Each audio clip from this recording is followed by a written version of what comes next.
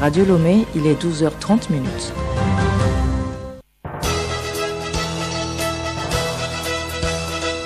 Le journal Léontine à.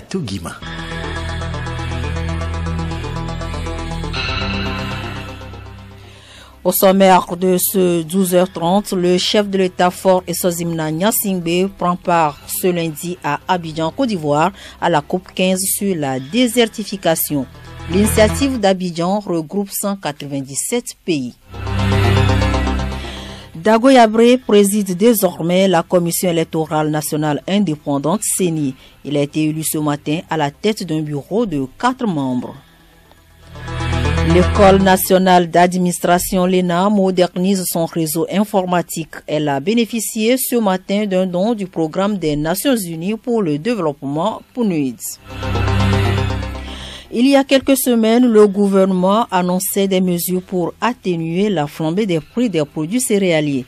Ces mesures saluées par la population sont-elles respectées dans les marchés? Suivant la réponse dans un instant.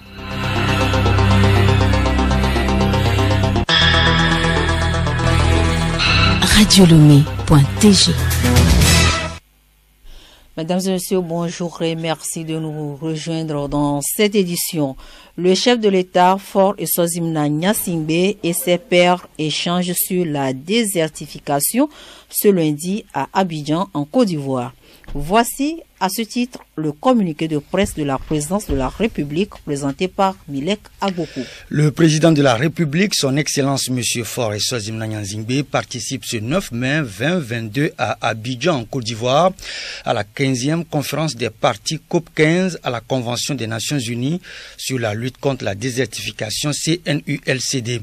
Cette rencontre internationale vise à apporter un nouvel élan politique aux délibérations des partis, faire progresser le programme de neutralité en matière de dégradation des terres et attirer spécifiquement l'attention sur des questions de sécheresse et de restauration des terres.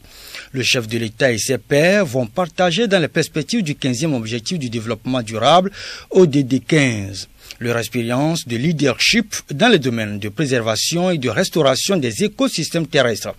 Les sommités discuteront également des mécanismes pour renforcer la résilience des populations affectées par la sécheresse. Le Togo va formuler des propositions concrètes conformément aux initiatives nationales pour la promotion de la foresterie communautaire la restauration des terres des pays forestiers et l'augmentation du potentiel forestier. Le pays dispose d'un plan national de lutte contre la sécheresse et la désertification et a lancé le 1er juin dernier une campagne nationale systématique et d'envergure de reboisement et d'enregistrement de la biodiversité avec pour ambition de planter un milliard d'arbres d'ici à 2030. Merci à vous, Milek Aboukou. Retour au Togo, Yabri Dago a été élu président de la Commission électorale nationale indépendante CENI. L'élection a eu lieu ce matin au siège de l'institution. Pour ce bureau de quatre membres, Achour Mao est le vice-président, premier rapporteur Dosek Limessan, deuxième rapporteur Chao Padumhekou. Le gouvernement avait publié un tableau des prix à appliquer sur les céréales au Togo. Au marché de Tochi à Lomé, les revendeuses justifient autrement les prix sur le maïs, le haricot notamment. Pacom Johnson et André Confino reviennent de ce marché, suivant leur reportage. À Gossimé, le prix n'a pas changé. Eh oui, le sac, combien de vendre On n'a pas encore diminué. On n'a pas l'argent pour acheter, il n'y a pas l'argent pour respirer bien. On n'a pas d'argent. Et puis quoi 600. Conteneur à elle, le conteneur va na mi ne conteneur va na. Prix du bidon d'huile non plus. Au marché de Tochi, ce client vient d'acheter son maïs. Depuis que le gouvernement a lancé que la diminution prix des, par exemple, du maïs, du mil, du soja, depuis là, c'est toujours ça. C'est toujours le même. Euh, le maïs, je viens de l'acheter à 850 parce que c'est le maïs jaune, ça. Euh, dans les marchés, on vend ça à 800 le maïs blanc et à 850 le maïs jaune. Pour ce client, le gouvernement doit prendre autre mesure que celles déjà prises. On dit qu'on est en démocratie, mais des fois il faut user un peu de, rigueur. Quoi. Mais c'est pas dans les marchés à côté des bonnes femmes, c'est à la base. C'est à la base. Par exemple, au moins au niveau de l'encens, si on peut diminuer au moins au moins au minimum là, si on peut faire ça, au moins à 400 quoi, au moins pour pour inciter les autres à aller à l'enceinte. Et quand les bonnes femmes, elles vont voir que on ne vient plus chez elles. Un peu, eux, si eux peuvent suivre au moins la tendance, si elle ne peut pas avancer à 400, au moins, elle peut revenir au moins à 700, bien 650. Que chacun joue sa partition pour soulager la souffrance de la population. Volet économique toujours, l'Office togolais des recettes pour une bonne gestion du secteur minier, les cadres des douanes et des impôts de la sous-région planchent depuis ce matin à Lomé sur la thématique de l'audit fiscal basé sur les risques dans le secteur minier, cas des techniques d'audit assistées par ordinateur. Pendant cinq jours, une soixantaine de participants issus des pays de la CDAO vont échanger sur divers modules liés à la gestion, la collecte des impôts et taxes issus des mines. Thomas Balco, formateur. Ils vont faire d'abord une introduction générale par rapport à la chaîne des valeurs en ce qui concerne le secteur des mines. Donc après tout, on parlera des risques. Lorsqu'il y a du changement dans le profit des quand on, on, fait la collecte des revenus, lorsqu'il y a du changement dans la collecte des revenus, les risques qui euh, exigent à ce niveau-là, on va en parler. Connaître les différentes informations qu'on a euh, au niveau des collecteurs de, des taxes et des impôts pour pouvoir analyser ces, ces informations, ces données. And, um, and how these risks could be identified. Le secteur des mines est l'un des secteurs le plus pourvoyeur des recettes de l'État. À ce titre, cette formation revêt une importance capitale pour les États membres de la CDAO, selon Salifou Temtore, directeur Union douanière et fiscalité intérieure de la CDAO. La transition fiscale, c'est faire en sorte que les administrations en charge de la fiscalité intérieure puissent développer leurs capacités pour davantage mobiliser des ressources importantes pour le développement des États. La CDAO doit euh, accompagner les États pour davantage mobiliser des ressources fiscales. La formation prend fin vendredi prochain. Merci à vous, Clarisse Tombité, pour une modernisation du réseau informatique à l'École nationale d'administration ENA. Le programme a offert du matériel informatique réceptionné ce matin à Lomé. Des câbles, routeurs et des logiciels de supervision de réseau ont composé le, le lot. Yao Kamake. Par ce don, le PNUD entend permettre à l'ENA de se hisser au même niveau technique que les autres ENA de la sous-région et d'être plus performante dans la formation.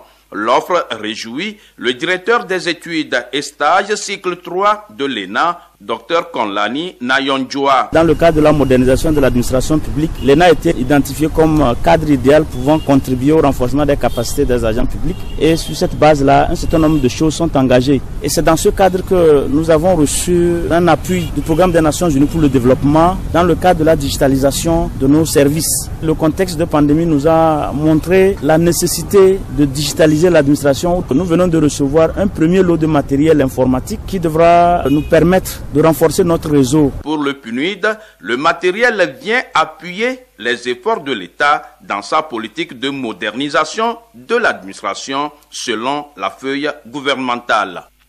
Radio Lomé était ce matin au Musée national. C'est un endroit où on fait la collection des objets d'art sur l'histoire du Togo.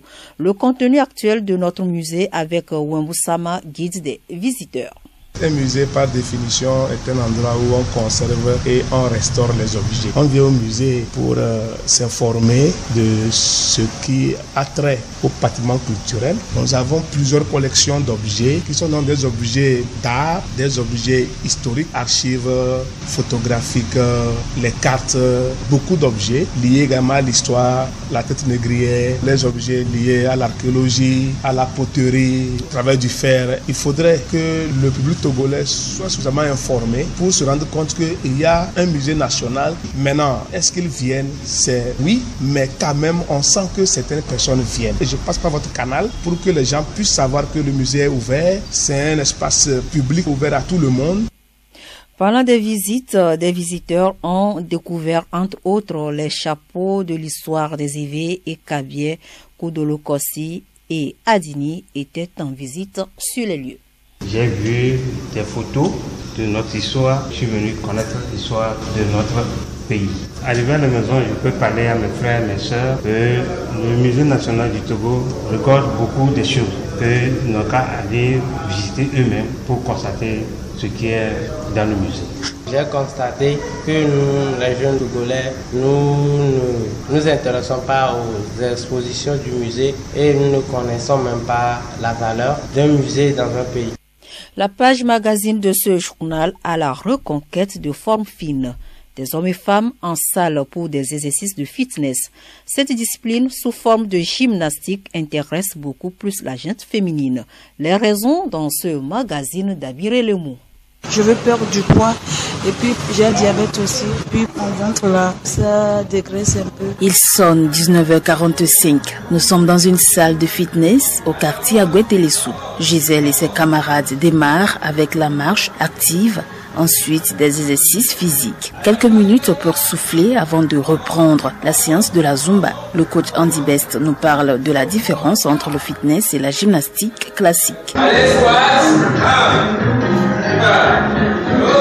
Une salle de fitness, une salle où on pratique des exercices libres, une salle où il n'y a pas vraiment de machine appropriée pour la musculation. Dans une salle de gym, on pratique plus de la musculation que du bien-être. Dans une salle de fitness, on peut pratiquer des exercices pas forcément musculaires. Le fitness même, c'est l'exercice physique, alors que euh, à la gym, on pratique plus d'exercices de musculation. Entre 80 et 85 kilos, les pratiquantes du fitness nous confient les raisons pour lesquelles elles sont là. C'est pour déstresser, casser la monotonie. Mon désir, c'est d'être en forme, être en bonne santé et de perdre du poids. Je suis grosse. J'ai eu des changements parce que avant je ne suis pas comme ça. Maintenant, je vois que je diminue, je perds du poids un peu, un peu. Donc, c'est bon. Il faut dire en premier que ça a été sur euh, le conseil du docteur, mais après l'accouchement, j'ai pas bien pris soin de moi quoi. Donc il fallait faire partir ce petit ventre là qui est devant. L'objectif même c'est de faire partir le ventre là, de devenir sexy. Mon mari, il aimerait me revoir comme avant, ce qui n'est pas possible quand même, mais il vaut mieux ne pas aussi exagérer, devenir euh, une grosse vache. Pourquoi plus de femmes que d'hommes dans cette discipline Coach Andy Best. Les femmes ont plus envie de perdre du gras, perdre du ventre, sortir un peu les fessiers. Donc elles ont envie de prendre soin de leur corps, les pousse plus à venir ici. Faire du sport, c'est gagner en santé tout en s'amusant, car gagner sans s'amuser n'a aucun intérêt.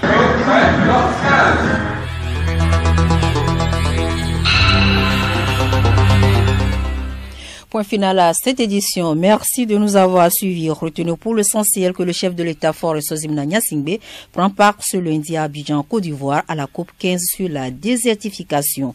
L'initiative d'Abidjan regroupe 197 pays. Dagoyabré préside désormais la Commission électorale nationale indépendante CENI. Il a été élu ce matin à la tête d'un bureau de quatre membres. Monsieur, dame, utilisez des épluchures séchées de citron jaune pour se débarrasser des odeurs dans vos chaussures de sport et chaussures fermées. Bonne suite de.